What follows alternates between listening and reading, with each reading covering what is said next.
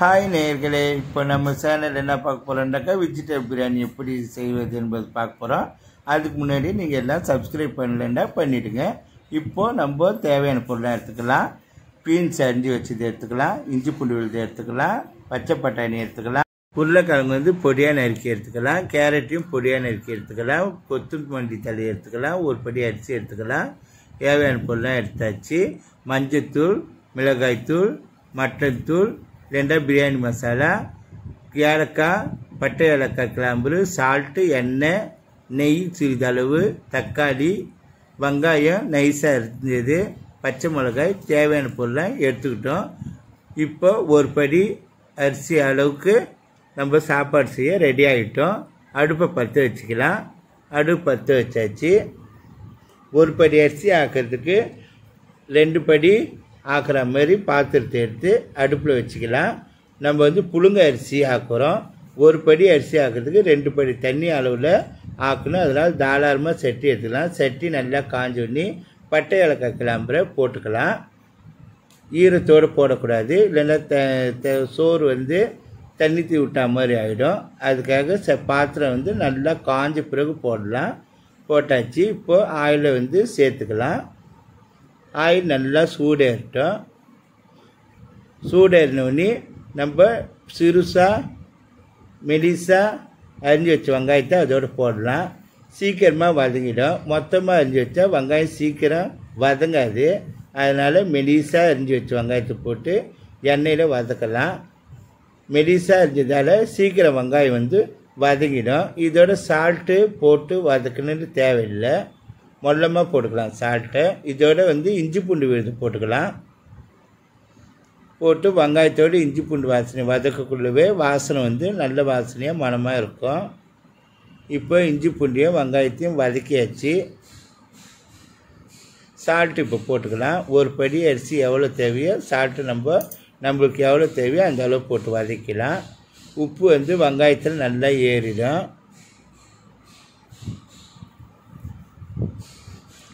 மஞ்சத்தூள் நம்மளுக்கு எவ்வளோ தேவையோ அந்தளவு எடுத்து போட்டுக்கலாம். மிளகாய்த்தூள் நம்மளுக்கு எவ்வளோ தேவையோ அந்தளவு எடுத்துக்கலாம். போட்டு வதக்கலாம். பிரியாணி மசாலா போட்டுக்கலாம். இல்லைன்னா மட்டன் மசாலா போட்டுக்கலாம்.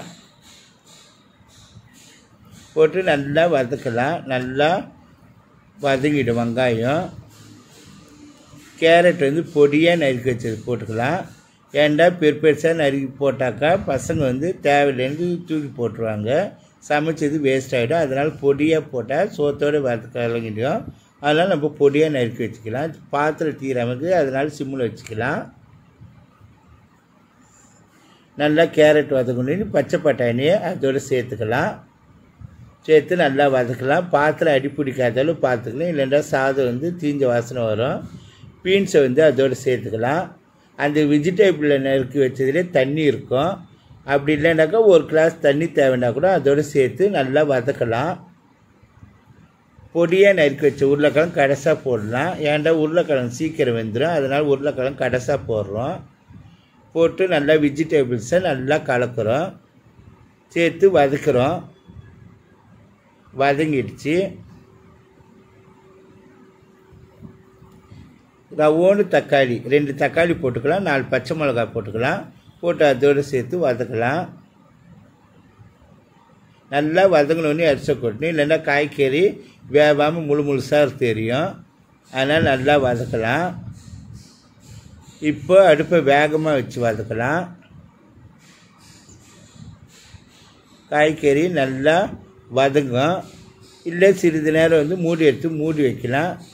அப்புறமா சீக்கிரமாக வெந்துடும் ஒரு ஃபைவ் மினிட்ஸ் கழித்து திறந்தால் காய்கறிலாம் வந்து நல்லா வெந்து இருக்கும் ரெண்டு படி தண்ணி ஊற்றலாம் நம்ம இப்போ செய்து வந்து பச்சை அரிசியில் வந்து வெஜிடபிள் செய்யல.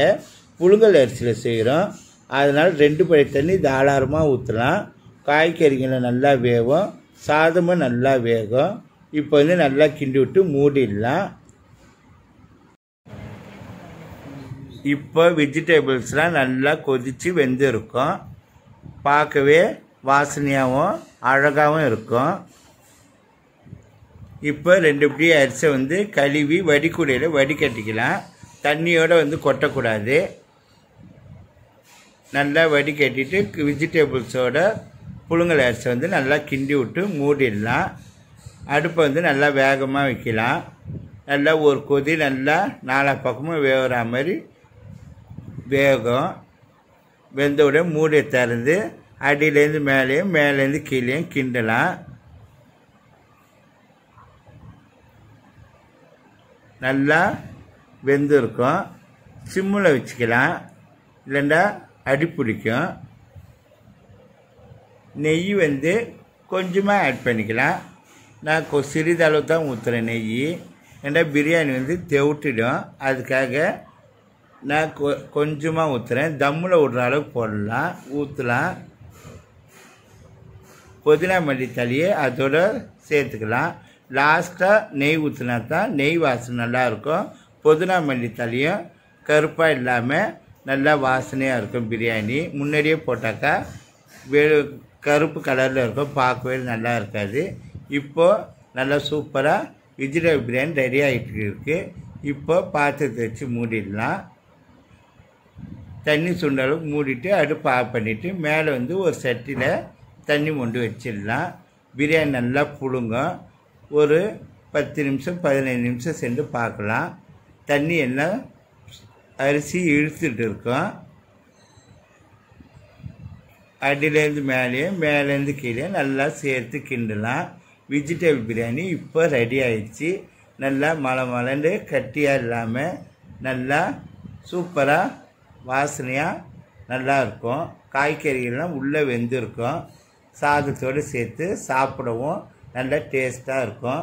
சின்ன பிள்ளைங்களுக்கு சாதத்தோடு வச்சு சாப்பாடு ஊட்டலாம். இப்போது வெஜிடபிள் பிரியாணி ரெடி ஆகிடுச்சு சமைச்சு பாருங்கள் ருசிச்சு பாருங்கள். இந்த வீடியோ பிடிச்சிருந்தால் லைக் பண்ணுங்கள் சப்ஸ்கிரைப் பண்ணுங்கள் பெல் பட்டன் அழுத்தி ஆல் என்ற ஆப்ஷனை கிளிக் பண்ணுங்கள்